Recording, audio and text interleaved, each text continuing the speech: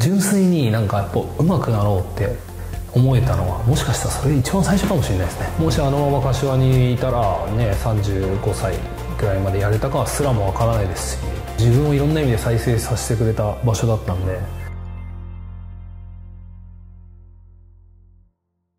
えっと、僕はゴールキーパーコーチを今まで約30年間、えっと、ジュニアから、まあ、幸いトップのカテゴリーまで全カテゴリー経験できたんだけど、はい、こうキーパーは僕はゲームに出て成長するポジションだっていうふうに思ってたしこう常々選手にもやっぱりゲームに出て経験をした方がいいよっていう話をしてきたんだけどなんか雄太のその出れなかった2年間で自分は上達できた成長できたっていう話を聞いてちょっとショック受けてるんだけどあの、はい、なんでゲームに出れない2年間結構2年間って長いと思うんだけど、ね。はい、どうしてそういうふうに思えたまあ僕のその状況もあったと思うんですけどそういうこう矢印が自分に向いてなかったとかそれを受け入れたことによって人の話が入ってくるようになったり、うん、まあよりライバルの選手から何か盗んでやろうとか、うん、そういうメンタリティーになれたんでだからすごくこうその間の時間って探求心がめちゃくちゃあったというか純粋になんかやっぱ上手くなろうって思えたのはもしかしたらそれ一番最初かもしれないですね、えー、そこまではなんかこ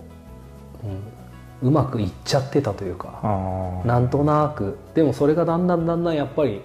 中身がないと結局結果もついてこないと思いますし、うん、っていう中で、まあ、菅が来て自分が出れなくなってっていう一連の流れからそういうふうになってってそういうふうに自分が気づけたことで、まあ、自分自身すごくそう上手くなりたいっていう自分が変わりたいっていうふうにすごく思えたのでそれが一番やっぱ上達するのに必要なものだと思いますし、うん、それを初めて、まあ、20後半でこう自分の中で素直に受け入れられたというか、うん、その瞬間があったんで、まあ、その2年間というのは大きかったですね、まあ、菅のなんか真似したりとかしましたから。あ彼のプレーを。プレーだけじゃなくてまあ彼はとにかくストイックですし24時間本当にサッカーのこと考えてるような男なんで、うん。食事どうしてるとかじゃあ筋トレとかトレーニングどうしてるとか前の自分だったら絶対そこにこう聞いてみようとか思わなかったと思いますし、うん、まあ当然ねプライドもあるしね、はい、本当にそういうの全部なくて、うん、もう年下だろうがなんだろうが、うん、まあすごく彼のことリスペクトしてましたし、まあ、そういう意味ですっと入ってきやすかったのはありますけど本当になんかいろんなものを教えてもらった気がしますだから、はい、えじゃあ菅野選手が来てで雄太が、まあ、控えに回るようになって、はい、柏のゴールマウスを守らないままアウトになっちゃった。そうですね。はい。あそうなんだね、はい、えーと、満了になった年がプロのその26年で唯一試合出なかった年です一度も。一度も？リーグ戦一度も出てない。一試合も出てないです、はい、あそういう経験されてるんだね、はい。まあ、これが全てのキーパーにじゃあ当てはまるかっていうそのさっき沢村さんが言ったように試合に出た方が絶対自分もうまくなると思いますし、ただ自分のその一連の流れからするとそこの間っていうの出ない時間っていうのはすごく大きかったし、プレーだけじゃなくてやっぱメンタルのところはすごく、はい、鍛えられたというか、まあ、そういう意味ですごくその後に、まあ、結局そこから14年やれたわけですからそうだよね、それはすごくやっぱり大きな出来事でしたし、もしあのまま柏にいたらね35歳ぐらいまでやれたかすらもわからないですし、まあ、今振り返るとあの時期があってよかったなと思ってます。なんかいろんな選手いろんな方たちにターニングポイントっていつでしたっていうと、うん、ショックなことだったりとか、はい、まさかっていう出来事が自分のターニングポイント私のターニングポイントでしたっていう話をよく聞くんですけどまさになんかねそういうタイミングでもあったのかもしれないよね。そうですね、うん、それとまあ箇所満了になったっていうのもすごく大きかったし、うん、まあ、そういう意味ではその2930歳のこの2年間っていうのは、うん、はい、自分にとって大きな時期でしたね。はい、チキ俺はまだまだやれるのにっていう思いで、はい、次のチームに移籍したの、はい、それともあまたサッカーができる喜びなんかこう受け入れて。あもう両方です。両方。あのとにかく自分で上手くなってる実感があったんであそうか。なんとかしてこのをピッチの上で表現してみたい。今自分が試合に出たらどうなんだろうかとかすごく自分に期待してましたし、まあ、それが熊本でできたんで、あのそうですね。なんかまず試合に出れるところっていうのをすごく自分の中で重要視しましたし当時はまだ絶で上がって多分3年とかそれぐらいしかまだ歴史のない熊本だったし、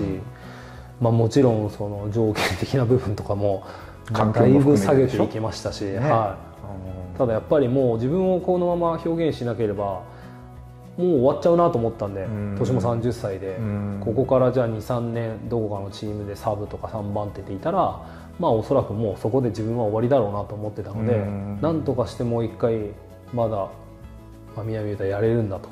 うん。いうところを見せたいし、うん。その自分の中で上手くなってる実感があったからこそ、うん。どうしても試合に出てもう一回表現したいっていう気持ちはすごく強かったです。うん。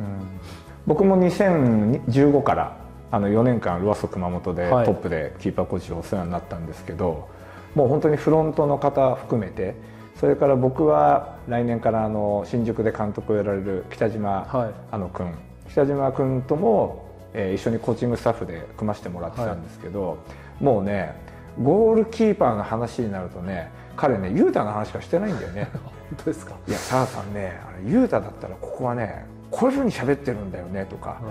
彼はねこういうふうにチームを引き締めたんだからあのもっとキーパー陣にはこういうふうに言った方がいいよとか言って言われて、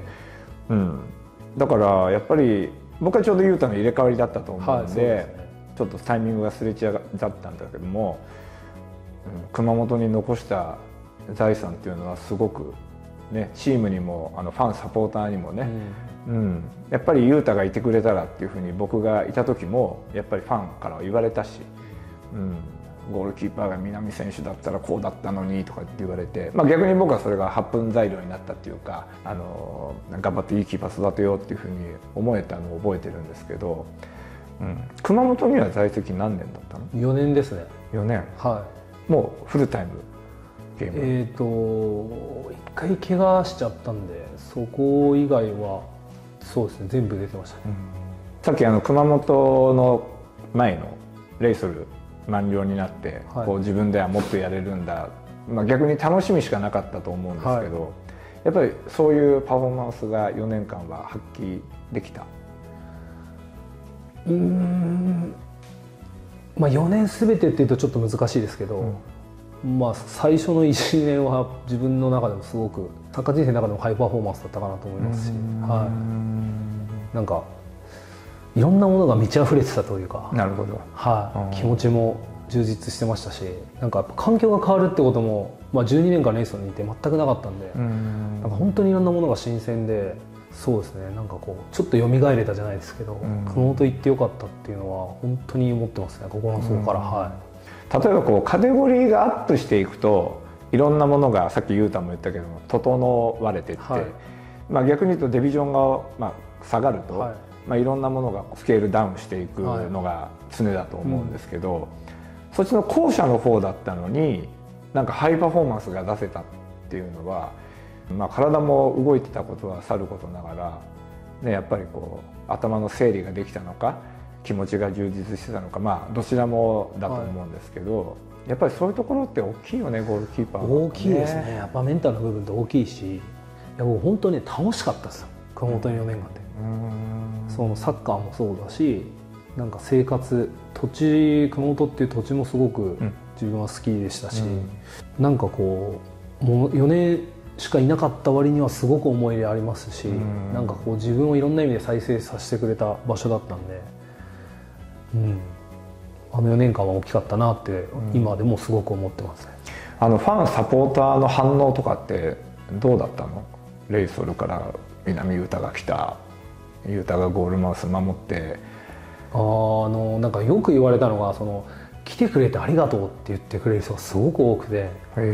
なんかそれはすごく驚きましたし、なかなかはい、ねないよね。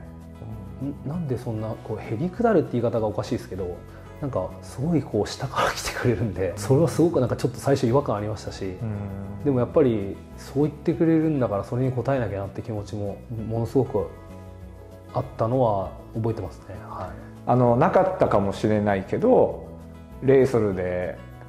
こうキャリアを積まれてきてあの2年間がなく、はい、もし熊本に行かれてたらそういうふうにファンサポーターから言われたらどんな表現してたんだろうね言うとね。はいはい分かった分かってるよみたいなそう,、いう感じだったのかな。当然のことに思ってたかもしれないですし、うん、うん、そういうこう素直にそれがすごくありがたいことだっていうふうに受け入れられていたかどうかはうんちょっと自信ないですね。はい、まあ謙虚な南優太が今ここにはあるってことだね。そう。ですね。はい。あの熊本のファンサポーターの話が今出てて、はい、あのレイソル柏のファンサポーターからは柏の子供たちは雄太の背中を見て育つっていうね、はい、こう名文句っていうか、はい、ねもう素晴らしい。なかなかそれ言わしめる選手いないなと思うんだけど、はい。うん、ねなんかそういうふうに言われる。まあ当然本当に僕が知ってる南雄太だったら、うん、まあえー、そうなの？じゃなくて、うん、うん、まあそれはこの人間からはそういうふうに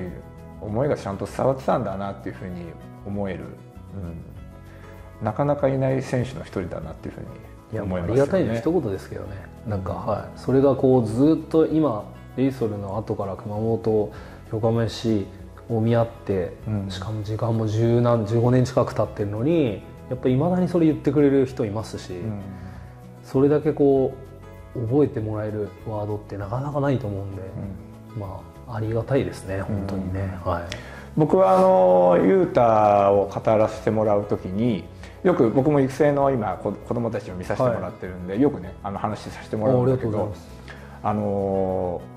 僕は本当に雄太のことを尊敬してる一人でその理由は、うん、どのチームに行っても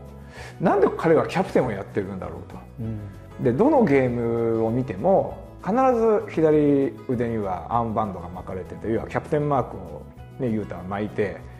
当然のようにこうゴールマウスにこう君臨されててでファンサポーターからも悪い話は僕は一切聞いたことがなくて、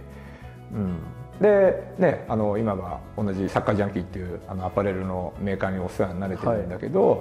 あの青木社長からも「あのいや雄太は雄太はね」っていつもふうにいい話ばっかり聞いてたんだけど 引退発表される、うん、4日前5日前かな、はい、あの何回も連絡もらって、はい、あのもう佐野さんあの引退することになりましたと。はい、で僕なんかはいやニュース見ればあの雄太分かるよと。うん、だけどなんかそういう連絡をなんかきちっとされるところとかあとはねこの動画を撮らせてもらうっていうふうなあの時に挨拶で連絡をした時には「ゆうた今どこにいるの?」って言ったら「いや羽田空港にいます」と。うん、え今からどこ行くの海外海外旅行かなんかにね、はい、バカンスいよいよ行くのかな？っていうふうに思ったらあの熊本にね、はい。うん、ラストの方に挨拶に行ってきますと。で当然柏にも横浜にも、うん、熊本それから大宮にはねあのしっかり自分で足運んで挨拶行くんですよっていうふうな話を聞いた時に、うん、まあだから偉業を達成できたんだなっていうのをすごく感じれました。あ本当ですか、うん、みみんな知ってるんじゃないですか。どうなんですかね。なんか分かんないですけど。でもね僕もいろいろ引退してきた選手の話は聞くし目にしたけどあの群を抜いて多分そういうところに対して、まあ、言うたらそういうふうに感じてないかもしれないけど、うん、あの感謝の気持ちを持ってる人は多分いると思うんだけど、うん、言葉で伝えるとか手紙で伝えるとか足を運んでやっぱりこうしっかりと挨拶ができるっていうのは、うん、すごく大切なことなんじゃないのかなっていうふうに思うけど、はい、そうですね。はい。なんかこうゴールキーパーとしてアスリートがこう 成長していく時には、ね、やっぱり技術が向上して、うん、自信をつけていく選手もいればあの気持ちや考え方いわゆるメンタルとかマインドが、うん、充実アップすることで今までの自分のこう技術が掛け算になって、そのメンタルマインドであの大きくなっていくっていうところは僕もいろんな選手見てきて感じるし、はい。うん、改めてねあの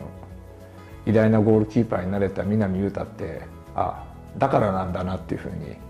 思えて、うん、すごく勉強になりますね。あいえいえそう言っていただけでありがとうございます、ね、またねあの育成年代で僕はやっぱり雄太のことをもっとクローズアップしてあのお伝えしてだからこういうふうになれたんだよねっていうふうなのも言いたいし、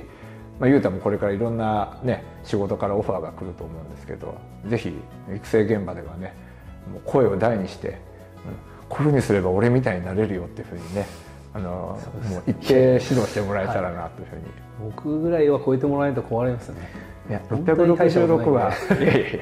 大したことないってそれはね言うた自分だから言えるんだよね。そうですかね、うん、いや俺全然何にも持ってないって自分でずっと思ってここまでやってきましたし、うん、それこそね身体能力高い選手とか見てて羨ましいなと思ってましたし、うん、まあでもだからこそ頭使ったりとか人を動かすとか、じゃあ人を動かすためにはどうやったら動いてくれるんだろうとか、まあ、そういうことは人より考えたかなと思うんで、まあそれがこうやって、まあ、キャリアを長くさせてくれたと思いますし、うん、まあ、能力だけに頼らなかったことが、まあ、逆に良かったのかなっていうのは思いますけどやっぱり世界に出ていくとかってなるとそこはどうしても必要なんで、うん、ね、今ねザイオン君とかハーフのキーパーとかいっぱい出てきてますし、うん、まあ、彼ら見てると本当にいや羨ましいなと思いますし、あれだけの体格があるのにあれだけのスピードとパワーがあって、っていうのはやっぱり自分にはないもんだったんで。はい、純粋にいいなって思いますけどね、うん、はい。まああのね、今名前が挙がったザイオン君とか、ねまあ、シュミット・ダニエルとかね、はい、海外で頑張ってる、ね、谷君もそうだし、はい、ねまあ、もちろんエイジも頑張られてると思うんだけど、まあ、恵まれたサイズとか恵まれた運動能力っていうのはね誰しもが見えることだと思うんだけどそのさっき雄太が言った見えないところ、はいうん、考え方だったり、うん、思いだったり、まあ、ゴールキーパーで言えば声も見えないところだと思うんでまたなんかねその見えないところをあの次の回で話をまた詳しくさせていただければと思います。はい、はい、ありがとうございます。ありがとうございます。